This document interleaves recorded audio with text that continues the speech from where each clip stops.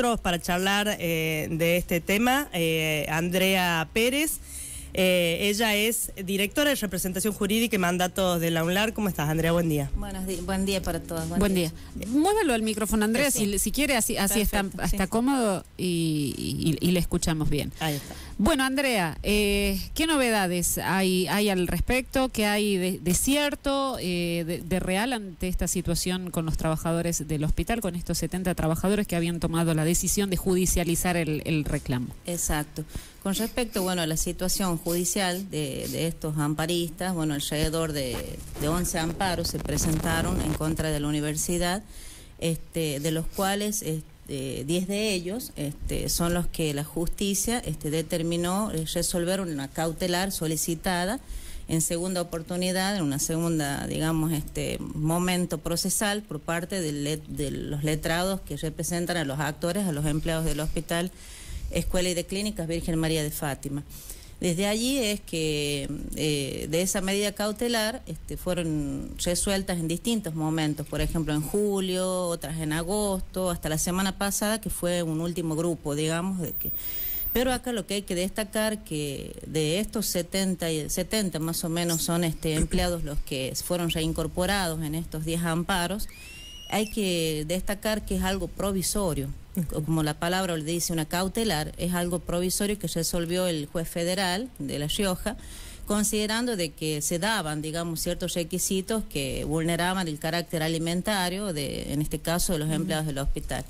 Es así que se resolvió este, esa cautelar en la cual este, a la universidad le ordenaba ya incorporar a este grupo de personas este, que estaban en distintos, en distintos expedientes de amparos iniciados. No fue un amparo colectivo, sino fueron 10 amparos con los mismos letras. Individuales cada uno. Eh, en cada amparo, digamos, Había habían 10 personas, 9 personas, otros 6, otros 2.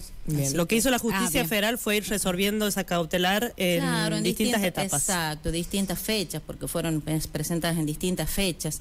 Es así que las cautelares también salieron en distintas fechas y bueno, y, desde esta universidad nosotros este, tenemos que agotar en defensa justamente del patrimonio universitario este, del patrimonio nacional, ¿no? Eh, dentro de lo que es la autonomía y la autarquía, esta universidad este, actúa en, toda, en todo momento y seguimos actuando porque esto no terminó dentro de lo que es los parámetros legales y administrativos correspondientes, ¿no? Desde el punto de vista, acá no hubieron vías de hecho, como supuestamente se dice, fueron, fueron todos, este, fue un proceso de regularización a la cual accedieron la mayoría de los empleados del hospital este, un proceso de regularización de esta situación que justamente la SPU, este, eh, a nivel nacional, únicamente con esta universidad, está en base a lo que es este, la defensa del patrimonio universitario, justamente em, eh, tratando de, solicitar a las distintas universidades del país esta regularización de esta situación, que únicamente este, contempla a docentes y no docentes, todas aquellas figuras, digamos, como en el caso puntual del adicional de asistencial,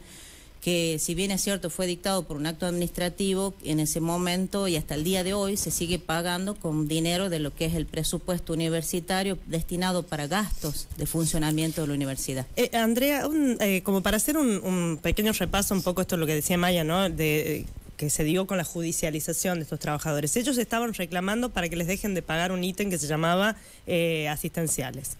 Ellos querían que les den una solución de fondo. La solución de fondo que plantea la universidad es que sean trabajadores no docentes. Ellos reclaman porque dicen que, entre otras cosas, la antigüedad eh, no les beneficiaba en, esta propuesta de fondo que le da la universidad.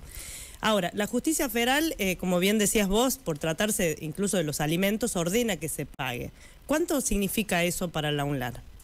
En dinero, es, bueno, primero y principal hay que destacar que no hay una sentencia firme. Un amparo es, como su palabra lo dice, bueno, es algo eh, provisorio, es algo cautelar. O sea, la cautelar, por ejemplo, es algo provisorio.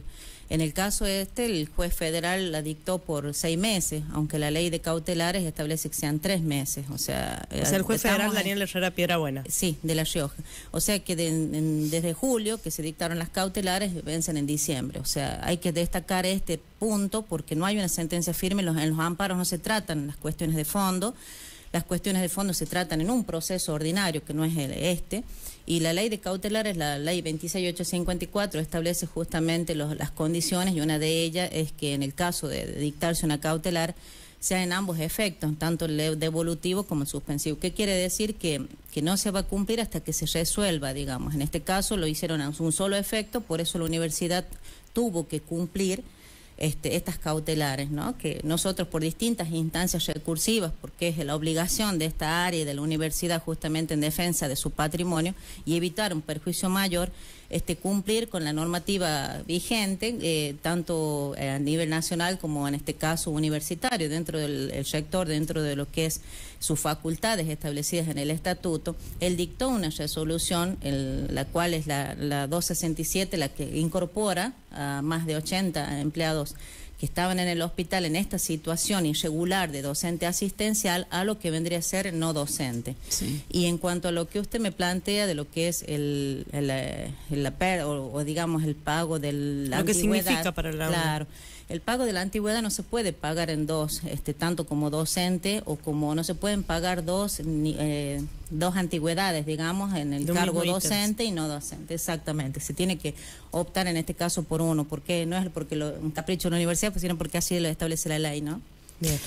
a ver, em, para, para pasar en limpio entonces, no es una resolución firme, es una resolución por un lapso de seis meses donde de en, ese tiempo entonces habrá que resolver la cuestión de fondo, entiendo. Eh, no, no, no. Nosotros este, lo que hicimos desde la universidad apelamos el efecto este. ¿Por qué? Porque nosotros, o sea, apelamos la medida cautelar. El juez resuelve que nos hace lugar, pero el solo efecto devolutivo. Entonces nosotros interpusimos una queja por esa eh, apelación denegada en virtud de tres artículos que son del Código Procesal Civil y Comercial ante la Cámara Federal de Apelaciones de Córdoba. O sea que la Cámara Federal de Apelaciones de Córdoba se debe expedir. Nosotros estamos a la espera de que se expida sobre eso. O sea que pueden ser en esos seis meses o antes. No, no, es que la cuestión de fondo ya de, yo calculo que después de diciembre estará resuelta, digamos, porque no no resuelve con el reitero para que bueno para que todas las personas que están escuchando o viendo puedan entender. Un amparo no se resuelve en la cuestión de fondo. O sea, un amparo resuelve, digamos, sobre unas supuestas vías de hechos eh, que denuncian estas personas, las cuales no fueron así porque existieron los actos administrativos. Hay empleados que accedieron a este proceso de regularización, pasaron a ser planta no docente. O sea que, es un proceso que está dentro de todo lo, es más, ya fue comunicado al SPU del proceso eh, eh, de regularización de estos empleados eh, en todo momento, ¿no? Que es otra de las cosas que hay que también destacar, que la parte, digamos, eh, actora, en este caso en los amparos, solicitaban ellos de que mm, eh, solicitaban o, en, el, en los distintos escritos de amparo eh, que, participe el SPU como tercero excluyente, que, o coadyuvante, perdón, digamos, que, venga como testigo a verificar o a intervenir, a ver lo que estaba pasando en la universidad, a lo cual nosotros accedemos en eso y también nosotros proponemos como parte de prueba nuestra, porque en todo momento desde esta universidad, eh, como le, digo, o sea, fue una...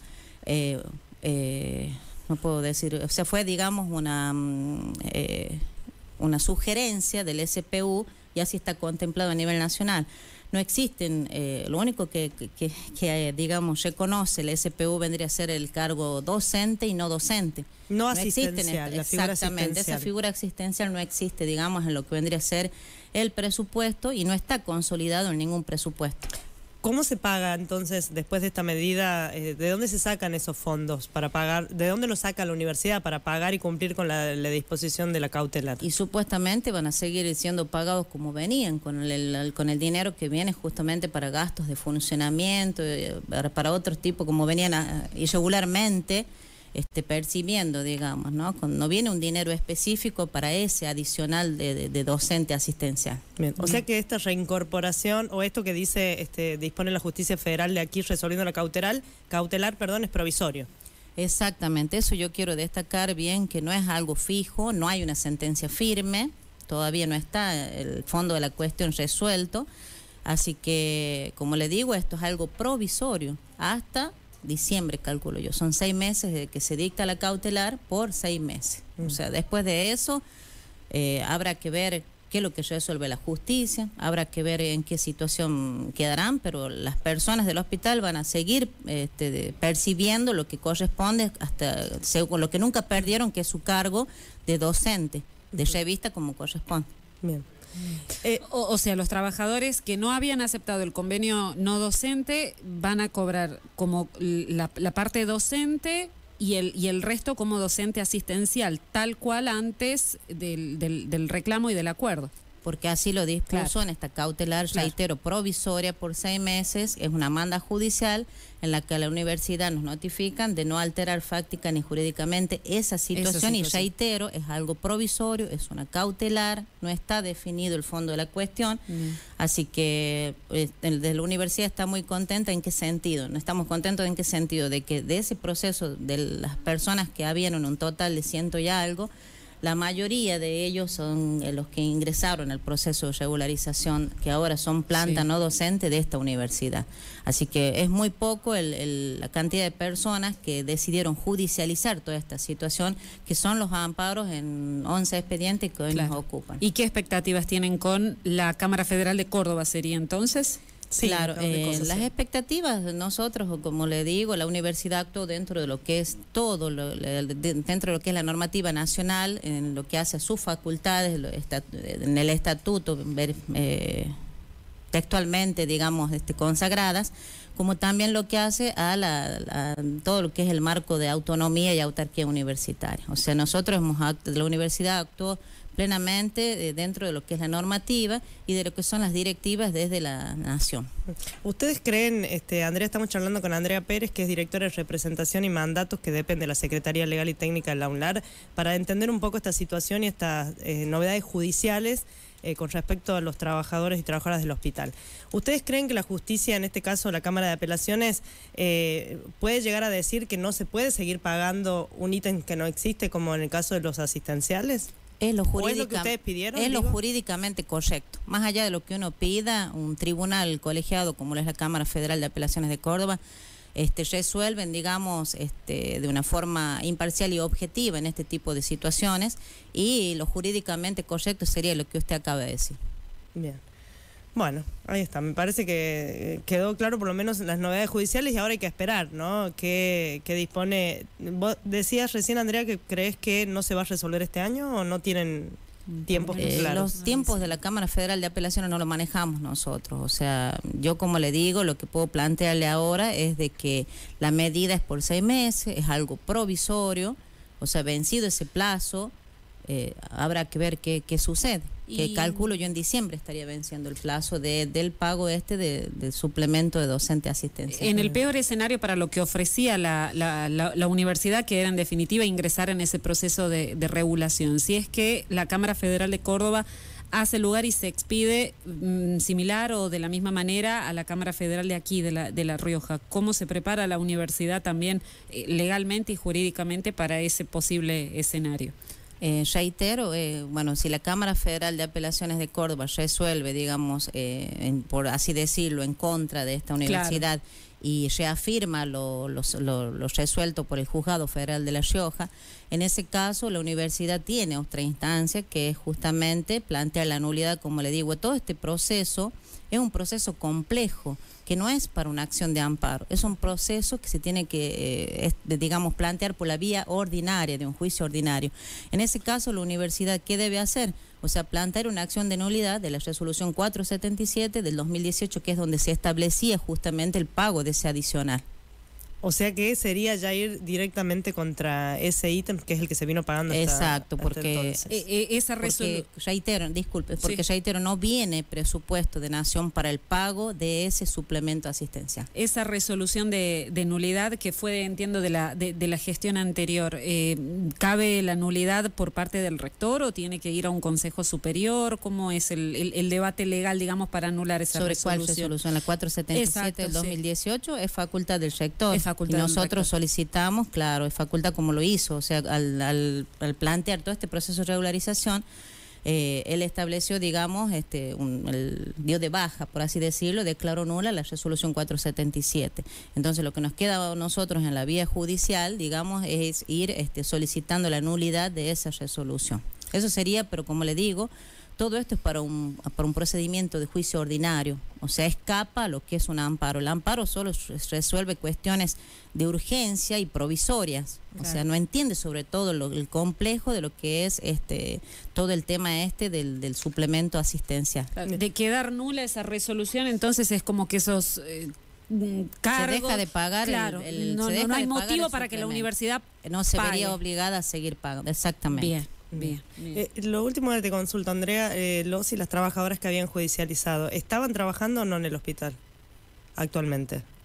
O sea, fueron cuando nosotros recibimos la notificación de que tenemos que cumplir, porque hicimos distintas instancias recursivas, porque así estamos obligados de la universidad y es mi deber como abogada justamente de directora de representación jurídica y de la parte legal, y agotar todas las instancias este, recursivas. Nosotros planteamos, eh, para que más o menos entiendan, o al, iniciar, digamos, estas acciones de amparos, la parte actora solicitó una, medida interina a la cual el juez no la concedió por considerar que se estaba vulnerando el ejercicio de derecho de defensa de esta parte en virtud del artículo 18 de la Constitución Nacional, el cual nos corre en traslado, nosotros tomamos conocimiento, emitimos en tiempo y forma los distintos informes requeridos por la ley justamente de, de, amparo, de la ley de amparo, y es así que después este, ellos solicitan, le hace lugar el juez a la medida cautelar. Pero como le digo, fueron en distintas fechas. O sea, fueron desde julio, agosto hasta la semana pasada.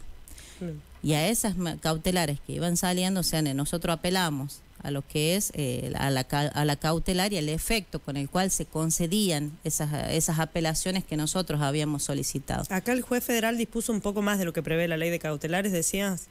Eh, claro, la ley de cautelar justamente establece un plazo de tres meses. Él lo dio por seis meses. O sea, al mantener, digamos, la situación que vienen teniendo, que venían teniendo los empleados del hospital. ¿Y por qué? ¿Eso está fundamentado? Eh, no, la verdad que no, no, nosotros no saben. No. Bien. Bueno, ahí está. Andrea Pérez, que es directora de representación y mandato que depende de la Secretaría Legal y Técnica de la UNLAR, explicando la, situación bueno, de los trabajadores y trabajadoras del hospital universitario. Te habrá que tener paciencia y ver un poco qué es lo que pasa y cómo se va dando todo el proceso este, judicial también. Exacto. Andrea, muchas gracias. Gracias, a ustedes. Buen Muy amable, buen día. Bueno, 25 de las 10.